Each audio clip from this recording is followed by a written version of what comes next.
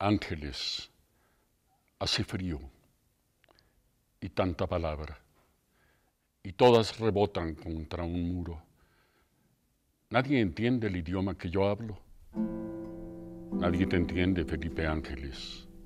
Mírate ahí, tumbado en el catre de los fusilados, escupiendo tus dientes rotos por las balas, con la lengua sangrando a fuerza de llamar y llamar a alguien con los ojos abiertos al horror del último cielo.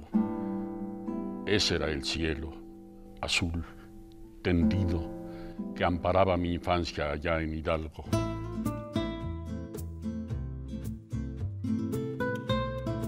De la obra de teatro Felipe Ángeles de Elena Garro, interpretada por Óscar Chávez. Periodista, poetisa, dramaturga, novelista, cuentista y guionista sin importar lo que dijeran otros, luchó por ser autónoma y procuró conservar su autenticidad.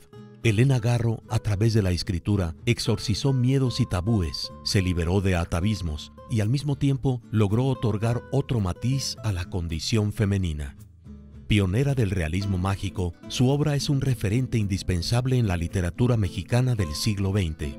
La Feria Internacional del Libro de Guadalajara tiene el honor de celebrar el centenario de Elena Garro, en una charla para revivir la memoria, Beatriz Espejo, Jenny Beltrán y Elena Poniatowska brindarán homenaje al recuerdo de la poetisa mexicana.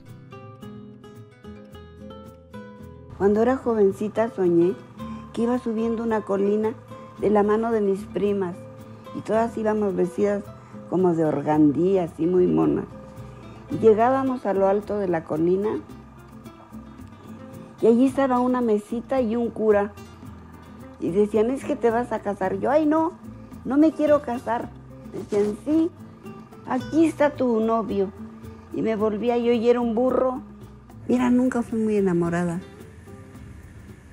Antes era pues sí un sueño así de...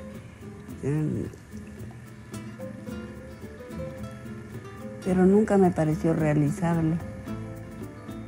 Feria Internacional del Libro en Guadalajara distinguidos y homenajeados.